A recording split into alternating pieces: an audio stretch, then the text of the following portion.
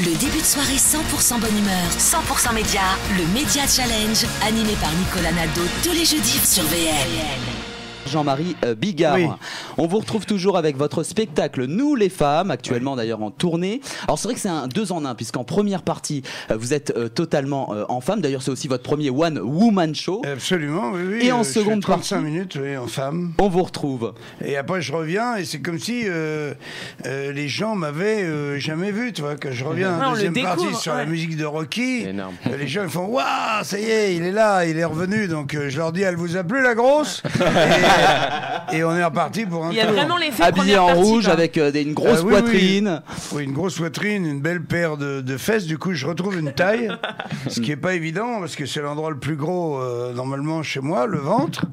Et ma costumière, euh, donc euh, en galvanisant ma, ma poitrine et mon popotin, m'a m'a fait retrouver une silhouette de femme qui euh, qui s'en laisse pas euh, compter. Hein. C'est c'est une Jacqueline Maillan. Elle, euh, elle a pas l'intention de se laisser emmerder. D'ailleurs, elle demande euh, aux hommes, c'est quoi votre problème avec la sodomie. tu vois Elle attaque euh, quand même assez directement. Elle dit bon, moi, la sodomie, euh, euh, c'est pas mon truc. hein. Attention. Je dis pas une fois de temps en temps. Quand c'est bien préparé, pourquoi pas? C'est pour moi, c'est cadeau. Mais je dis bien une fois de temps en temps. Ma rondelle ne fait pas le printemps. Et ça a fait le tour de, de France. J'aurais joué fin juin 440 fois Ouais. ce spectacle. Wow. C'est le record de toute ma carrière et c'est sans aucun doute le spectacle le plus efficace de, de Vous ma le dites carrière. souvent, c'est votre meilleur spectacle. Vous le dites oui, souvent. je l'ai dit à chaque spectacle, Hmm. mais là c'est vrai. C'est tout. Jusqu'au prochain. Ouais. D'ailleurs- Oh, non, non, je pense pas, mais vraiment, en plus, j'ai une, je vais te raconter une anecdote, Nicolas. Euh, ma petite secrétaire me fait une farce, elle me fait la blague, genre, euh, Laurent Baffy. Laurent Baffy, quand il fait une pièce, il, il prend le clic de l'hôtesse de Ah oui. l'air et il compte le Compte nombre de rires, de rires. le nombre de vrais rires, quand la salle se soulève, tu vois. Et euh, à la fin de la première représentation, hein, je, je connais même pas mon texte par cœur, tout c'est un vrai euh, et elle me dit, tu as 700 rires.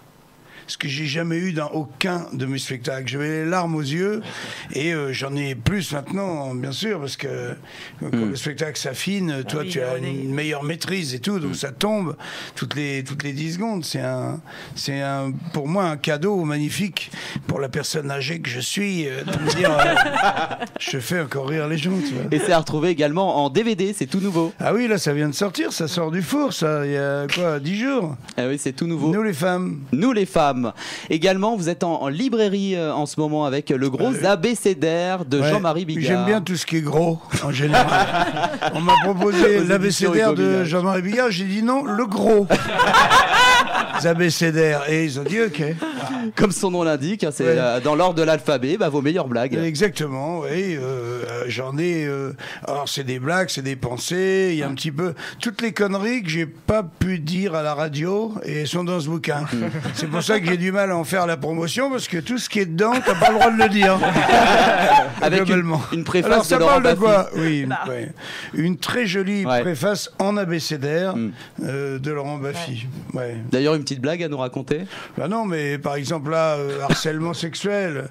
Tu vois, on est en train, on parle que de ça. euh, et j'ai un pote, il m'en a envoyé une cet après-midi. C'est le, mec, euh, le gros porc dégueulasse qui arrive dans, un routier. Il pose sa bite sur le comptoir.